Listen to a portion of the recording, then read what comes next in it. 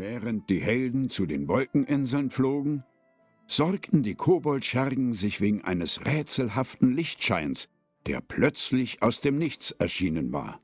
Er umgab die entführte Margaret wie das Licht des alten Weibs, das in den alten Koboldlegenden auf die Erde kommt, um ungezogene Kobolde zu züchtigen. Und damit ein herzliches Willkommen zurück zu Trine 2. Wir haben aufgehört mit der Wolkenstadt und jetzt sind wir also mit den Wolkeninseln, ähm, wo der Koboldkönig ist, glaube ich. Und ja, machen das einfach mal froh weiter.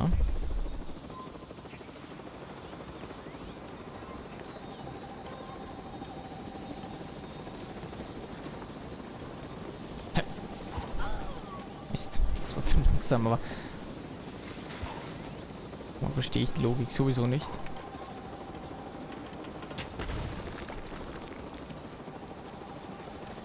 Beziehungsweise frage ich mich überhaupt, was, was, was... Aua.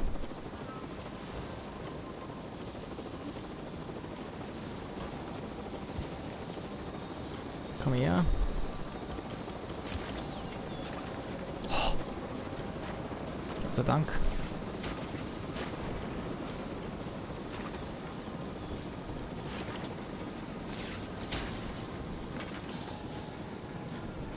Ähm. Hallo? Okay, äh. Hm. Ah, Sache tot.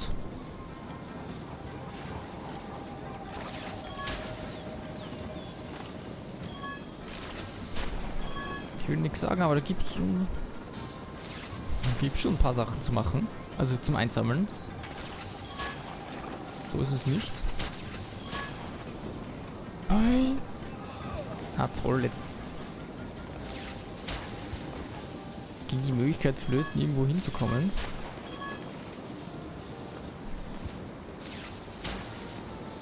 Geh weg von mir. Brauch dich nicht.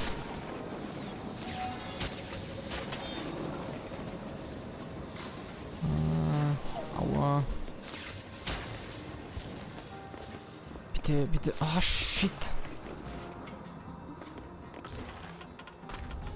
Alter, jetzt kann ich mich mit der hier gegen den quälen, oder was?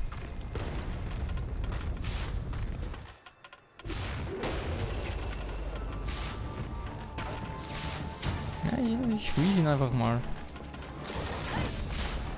Ähm, mhm.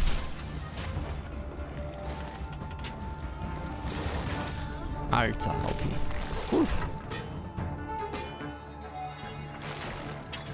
Ich sehe mich... Oh. Oh. Oh.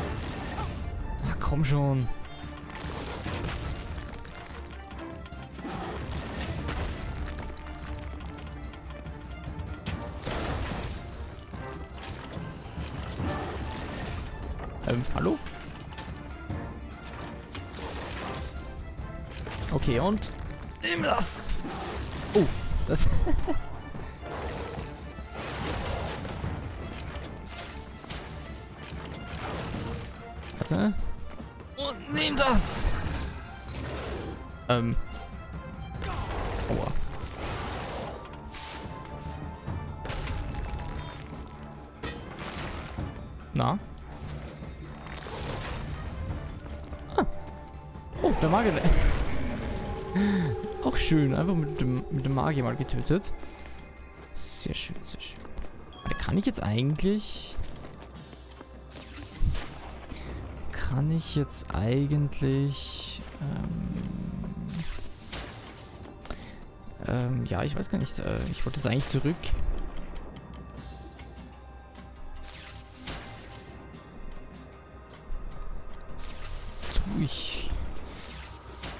wohl aber nicht. Okay, na gut, dann... Ähm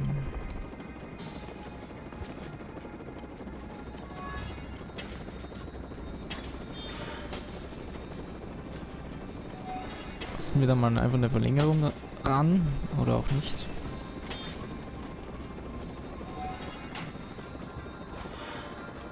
Das ist schwer, ne? Hm. Hm. Das ist schwer. Okay. Ähm... Wie wär's mit einmal so? Einmal so, damit es nicht...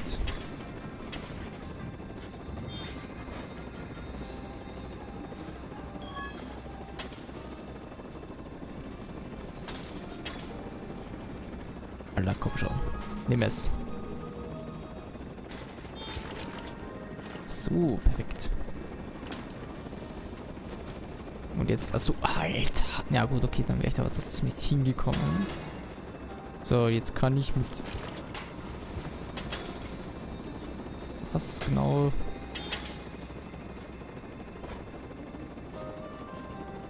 Ist zu, ist zu schwer, oder? Es rutscht ganz leicht, also ist es zu schwer.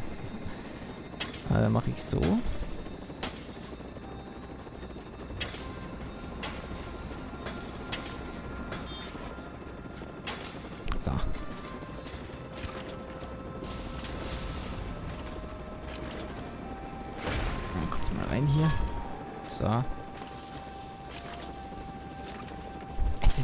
Gleiche. Es hält einfach beim ersten Mal nicht. Oder irgendwann hält es einfach nicht mehr. Ich, ich verstehe es nicht. So, fünf Punkte. Was kann ich jetzt machen? Magnetschild. Anstürmen. Ja, nehme ich das. Und dann habe ich noch drei Punkte. Die Diebin ist für Feinde nicht sichtbar. Die Wirkung hält 10 Sekunden an. Wenn sie stillsteht oder pufft, aber in der Bewegung mit doppelter Geschwindigkeit das Berühren von Monstern oder das Angreifen beseitigt die Torfügung. So, okay.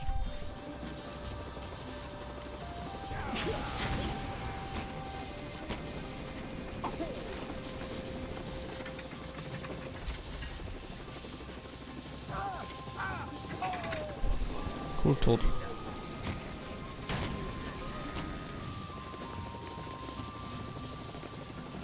Ja, ich würde gern. Ja, danke.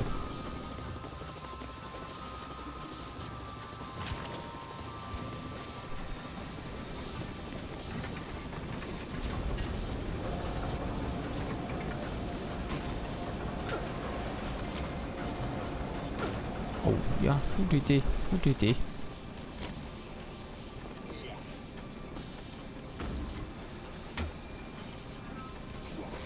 Alter, hast du mich gerade betroffen?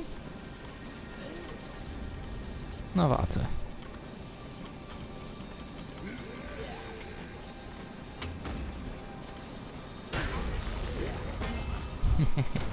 so.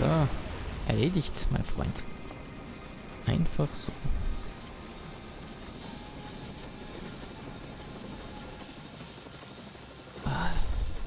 Ich die irgendwie halten?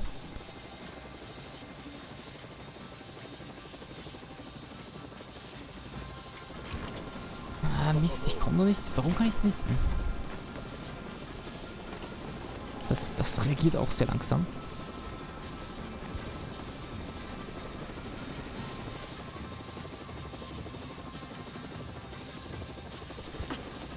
Ich komme da irgendwie...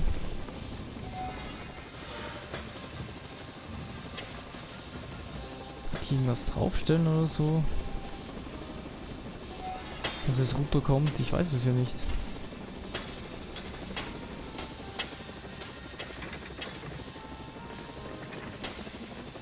So wirklich funktioniert tut's ja nicht. Na komm. Einfach aufmachen da. Ah, okay, jetzt auch. Ein Drachen. Komm hoch mit dir. Wieso will ich so nicht da hochkommen? Nie im Leben, aber okay.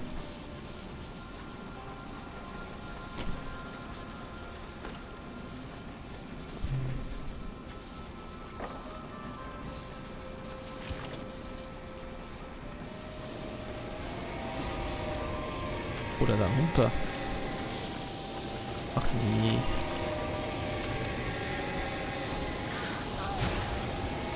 Sprache ist man tot. Alter, das ist...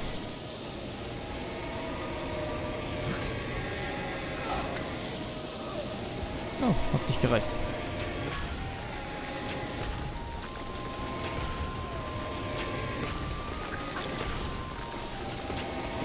Ah,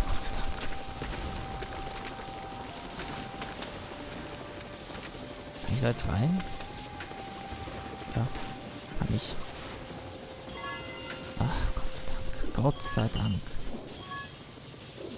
Da unten ist irgendwas, da könnte ich mit dem Hammer runter. Ja, genau. Wunderschön. Wunderschöne Pünktchen.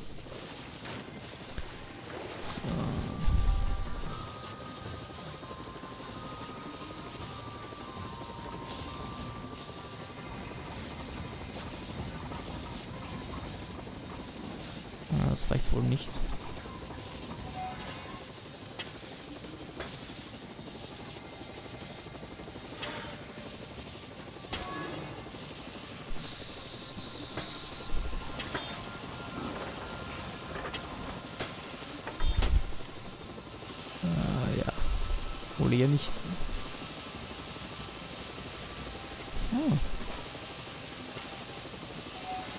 Wir stellen aber noch eine Kiste drauf. Achso, jetzt reicht es genug da. Okay. Lange genug aufgeladen. Ach du Scheiße.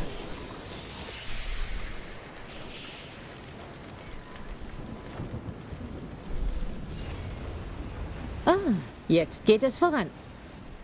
Ach, wo ist bloß dieser Kobold? Hm, Der wird noch früh genug kommen.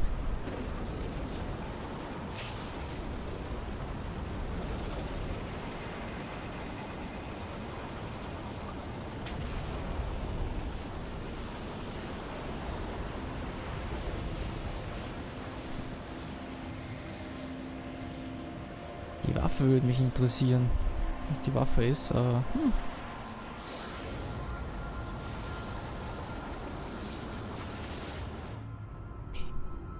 Das hört man auch. Oh. Ich hasse Flugreisen!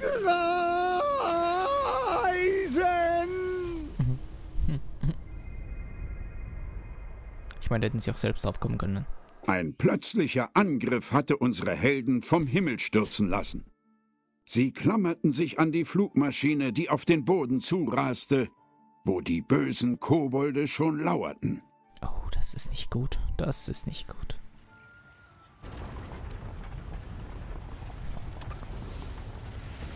Fort! Oder ich zerquetsche das Weib! Das bezweifle ich sehr. Margaret ist nicht einmal hier. Wir schon. Und wir vernichten dich und deine Höllenmaschine. Ha! Sie soll zwar Städte zerstören, aber wir können auch mit euch anfangen. Oh, das ist nicht gut. Alter, das Ding sieht gar nicht gut aus.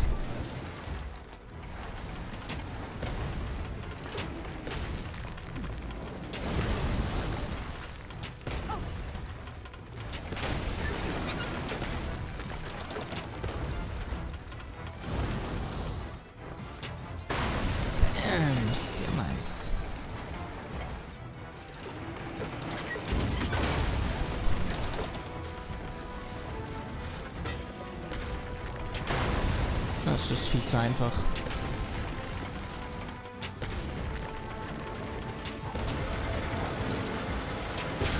Ich glaube, dass das nicht viel zerstören wird. hier. Das wird in der nächsten Version gefixt.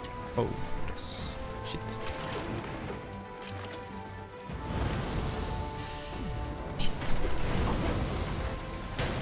Nein.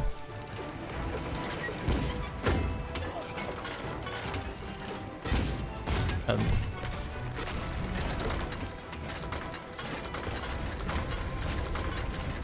Ist ungünstig.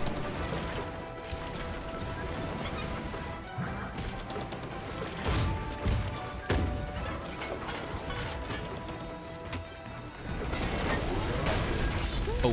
Jedes gute Projekt muss vor der Fertigstellung getestet werden.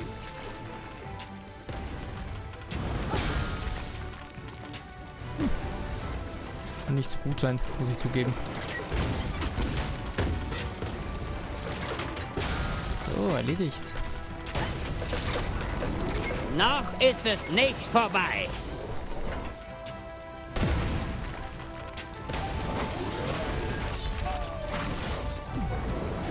Aber mit ihr könnte ich zumindest... Oh.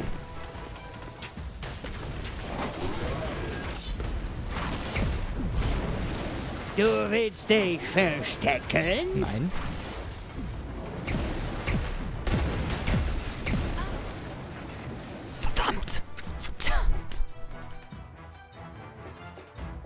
Ein plötzlicher Angriff hatte unsere Helden vom Himmel. Ich wollte ja nur...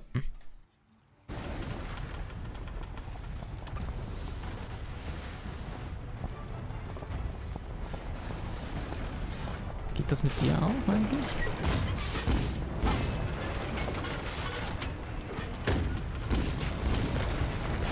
Jetzt aber. Komm, sehr schön.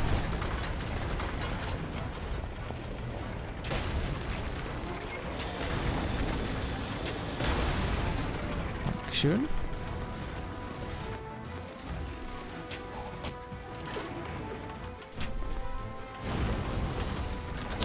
Ui. Sehr bitter. Aber es läuft. Das wird in der nächsten Version gefixt. Ja, ich glaube, da gibt es keine nächste Version mehr. Oh, Mist.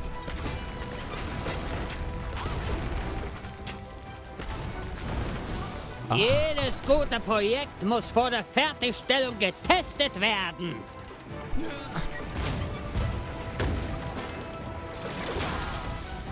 Ähm, mal fett durchgeschlagen hier. Hat er, er kann eigentlich gar nichts machen, machen außer die Dinger einsammeln, ne? Eigentlich.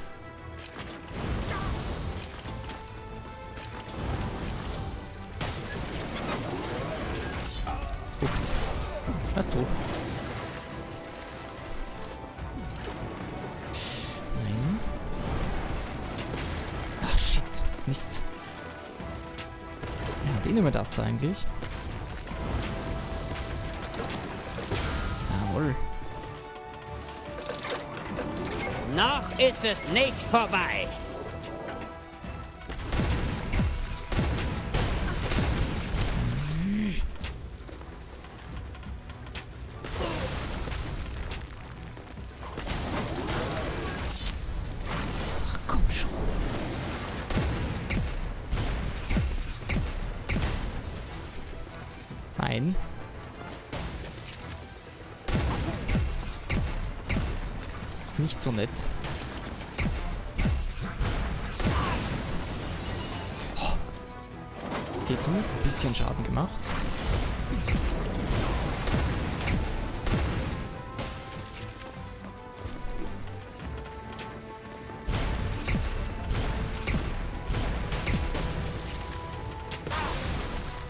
So, und jetzt?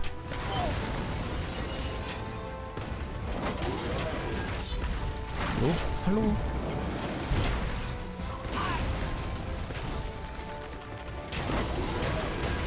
Aua. Oh, ich hab Du willst dich verstecken?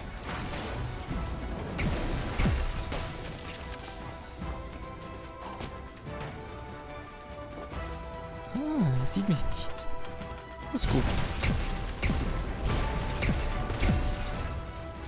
Oder so, ne? Ah, shit.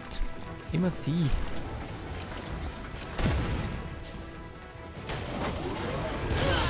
Ja. Erledigt. Das gewusst hätte. so einfach ist.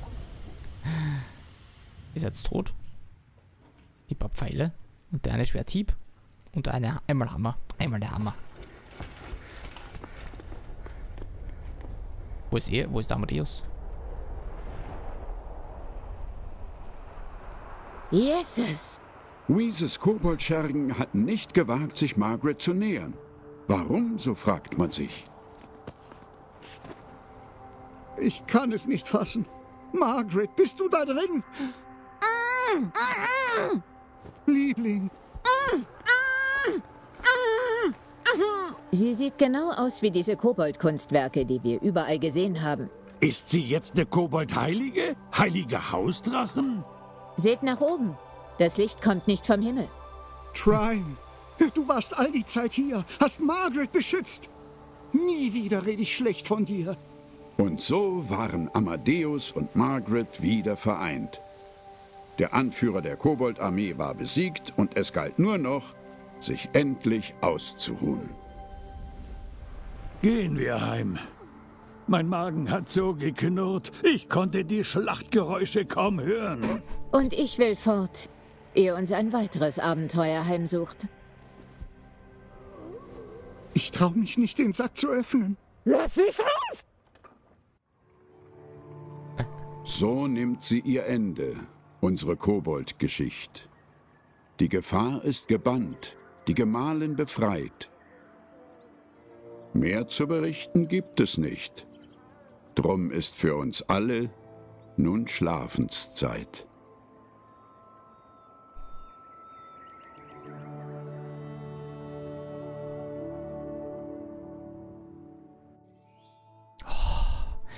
Das war's jetzt wirklich. Das war jetzt wirklich Trine 2, The Complete Story. Das heißt, das zweite Ding da, das wir da gespielt haben, nachdem wir Rosabelle erledigt haben, den Drachen, ähm, das mit den Kobolden, das war jetzt das Add-on oder ein DLC oder was weiß ich, ein Zusatz. Ja, und das war Trine. Ich meine, es läuft mir so ein bisschen die Gänsehaut runter, muss ich zugeben. Weil, weil das Spiel schon, also es ist kalt hier in dem Zimmer, wo ich bin, aber das Spiel an sich ist auch, ja, es ist schon sehr gut. Vor allem auch dieses, dieses letzte Satz jetzt, es ist jetzt nun für, für uns alle Schlafenszeit, das erinnert so ein bisschen und auch der, der Erzähler selbst erinnert so ein bisschen halt an einen Erzähler von einer Geschichte. Und ähm, ja, also wenn, wenn man da ein Märchenbuch draus gemacht hätte, wäre das auch vollkommen okay gewesen. Also ich, ich weiß nicht. Bietet sicher genug Stoff dafür.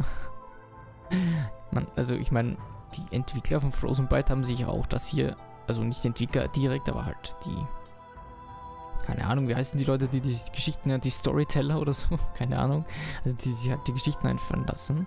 Die haben ja auch die Geschichte hier einfallen lassen, also warum könnten die sich nicht auch theoretisch ein, ein, ein Gute-Nacht-Geschichtchen einfallen lassen für Kinder oder so.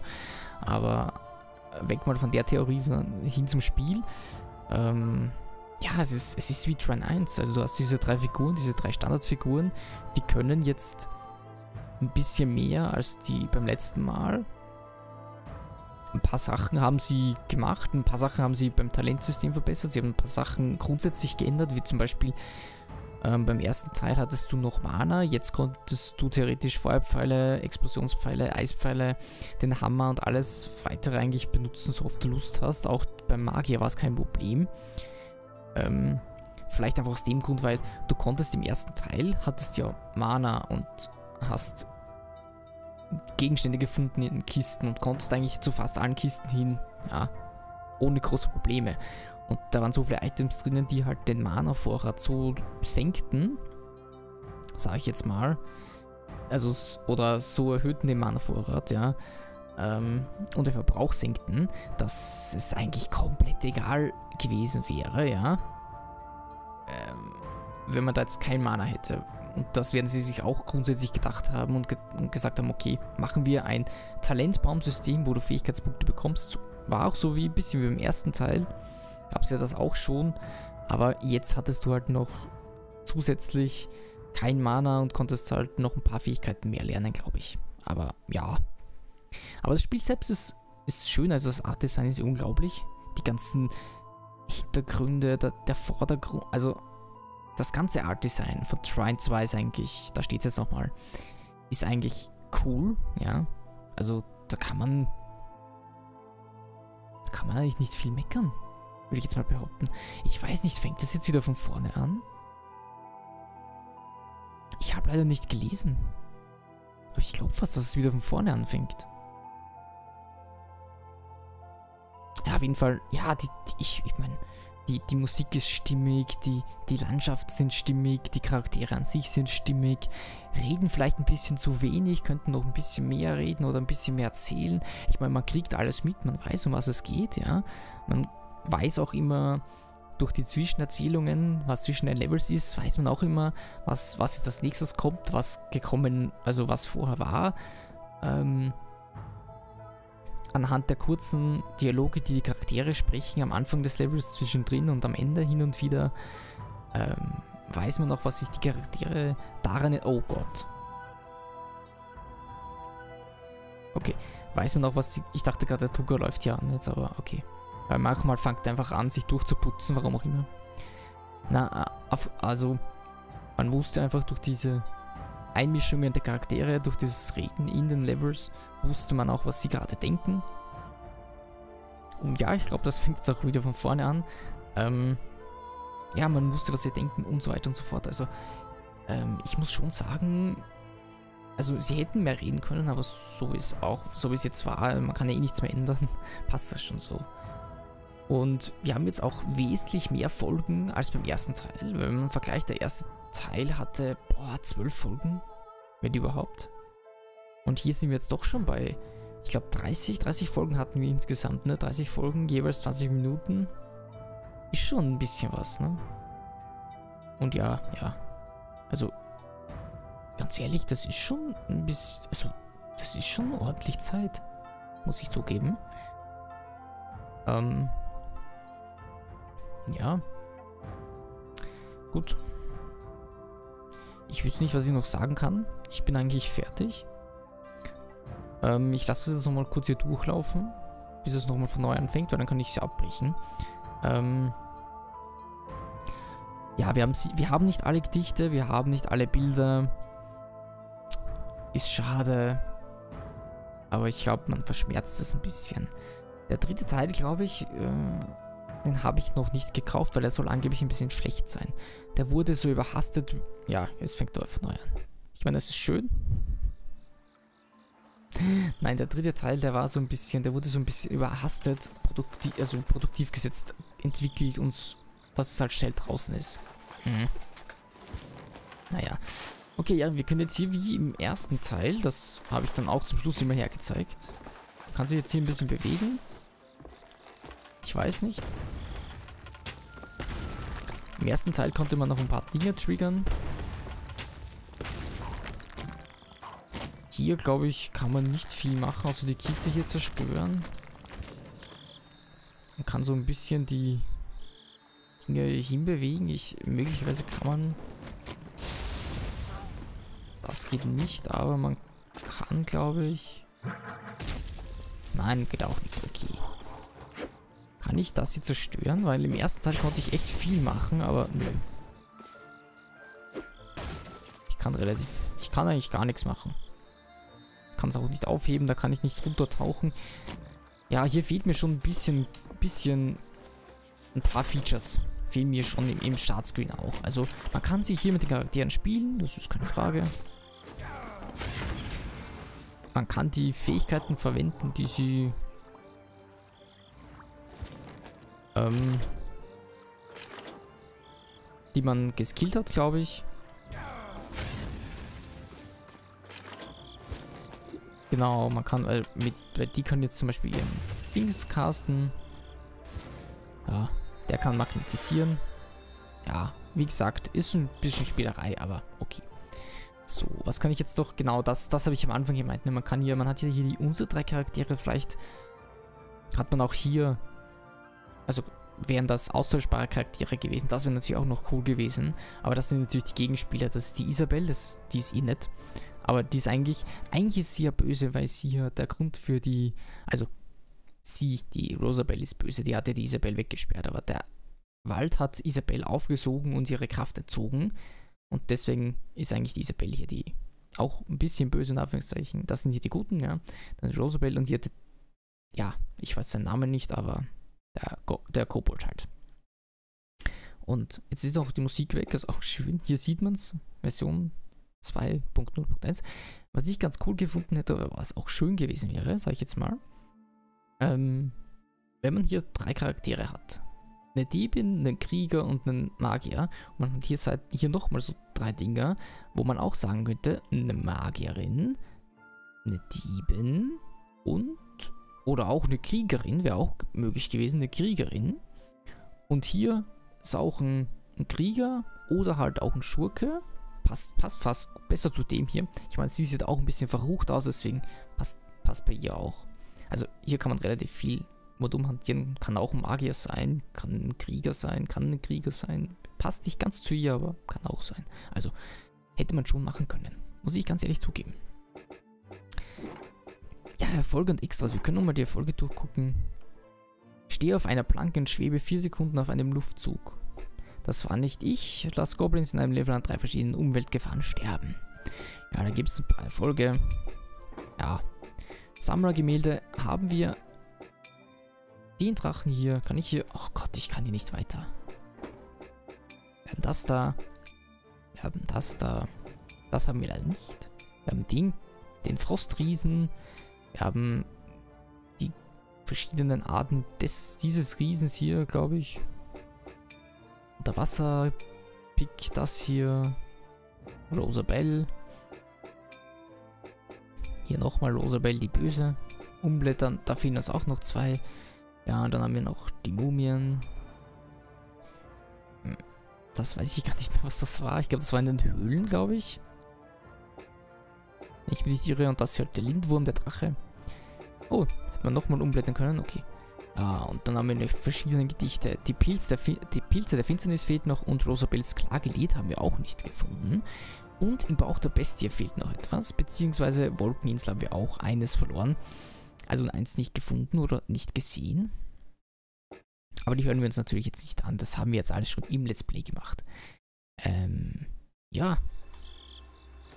Ich würde sagen, das war's. Ich sag einfach jetzt mal, wie, wie laut war das jetzt eigentlich? Weil das ist... Ja, okay, es geht. Ich sag vielen, vielen Dank fürs Zuschauen. Ja, warte, kann ich, kann ich zumindest mit den... Nee, da, da geht einfach gar nichts. Das ist ein bisschen langweilig. Ein bisschen langweilig ist es schon. Aber ja, vielen, vielen Dank fürs Zuschauen. Und ich würde sagen, ähm, wir sehen uns einfach beim nächsten Mal wieder, beim nächsten Let's Play. Vielleicht auch bei Shrine 3, ich weiß es nicht. Schauen wir einfach mal. Aber ja, ich hoffe, es hat euch gefallen auch. Ich meine, das ist, das Art Design ist doch traumhaft, oder? Ich meine, hallo? Das ist, das ist doch wunderschön. Ich meine, es ist vielleicht hier hinten ein bisschen nicht, nicht ganz so ultra HD, aber es ist stimmig, es passt. Man hat hier einen aktiven Vordergrund und einen inaktiven, passiven Background, der super die Stimmung einfängt. Es ist traumhaft. Na gut. Wie gesagt, ich verabschiede mich jetzt. Vielen Dank fürs Zuschauen und wir sehen uns beim, einfach beim nächsten Mal wieder. Ciao, bis dann. Baba.